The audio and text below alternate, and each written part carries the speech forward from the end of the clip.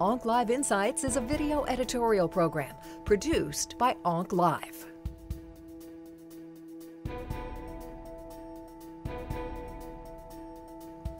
The mechanism of action of the CDK inhibitors is really interesting.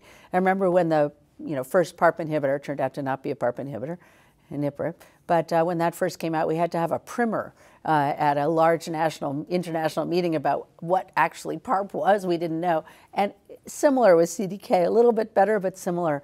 That you know there are a lot of cyclin-dependent kinases, uh, and they work in different mechanisms and in different pathways. And what we're focusing on here is CDK4/6, so cyclin-dependent kinase 4/6, that associate with cyclin D1 in the cell cycle pathway.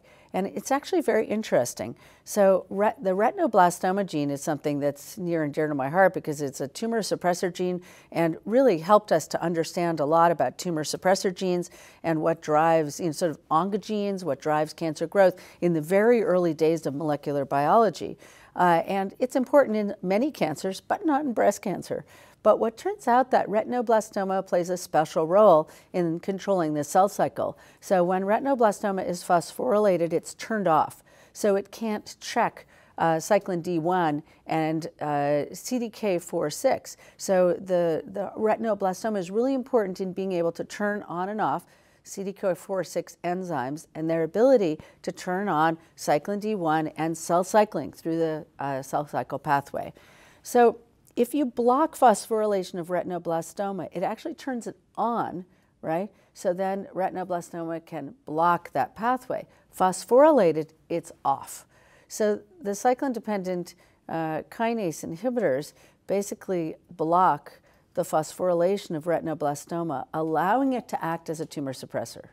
So it's a very cool mechanism. Now, how that actually plays out in the actual mechanism uh, of how this is helping hormone therapy to work so well in breast cancer, uh, we don't know.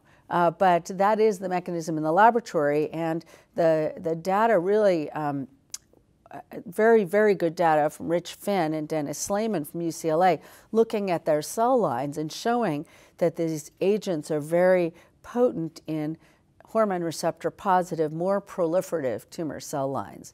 Uh, and so that's where all of this came about. We have the really exciting data from palbociclib, and we also have two other CDK4-6 inhibitors that are in clinical trials.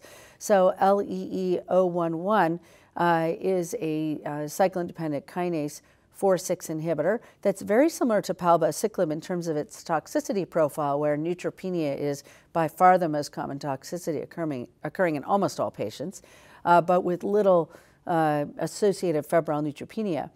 Uh, though that drug is in a number of different trials uh, called the MONALEESA trials, and they're studying, again, very similar to the way uh, palbociclib was studied in the Paloma trials, where you're combining it in the first line setting with a non-steroidal aromatase inhibitor and the second and greater line setting with fulvestrant. And then one other area of study, because uh, Novartis that has LEE-011 also has a number of different very potent PI3 kinase inhibitors, is based on laboratory data suggesting that combinations of inhibitors in the PI3 kinase pathway and CDK4/6 might synergize because they block these two different pathways that are felt to be very important in generating resistance to hormone therapy. Uh, so that's being studied as well, uh, both in combination with the mTOR inhibitor everolimus and with the alpha-specific PI3 kinase inhibitor BYL719 or alpelisib. Uh, and then the third CDK inhibitor is the most different, abemaciclib, uh, Lilly's CDK4-6 inhibitor, instead of being given for three weeks on, one week off, the way the other two are given, allowing the time for the bone marrow to recover, uh, uh, abemaciclib can be given continuously. And that's because it causes less bone marrow suppression.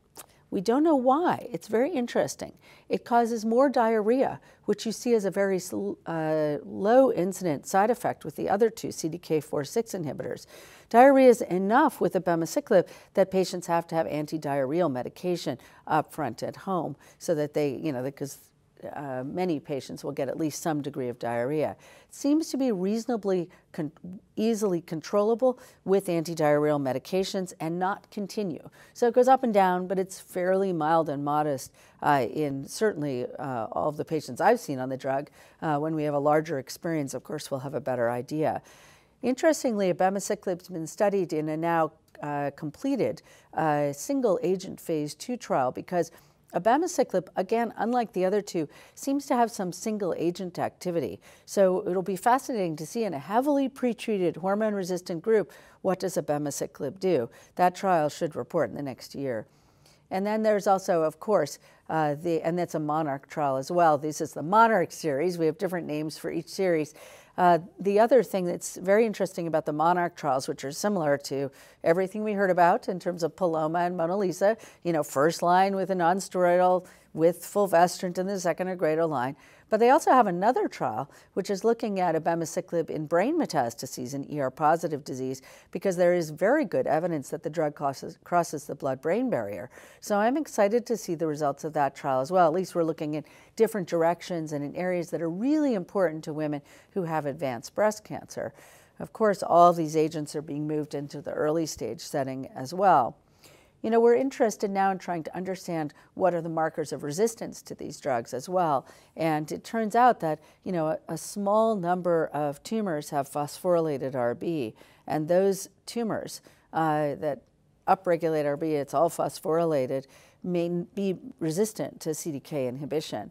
Uh, and maybe we'll be able to overcome it by adding another agent or potentially altering the, altering the agent we add in the future. Uh, so we'll see.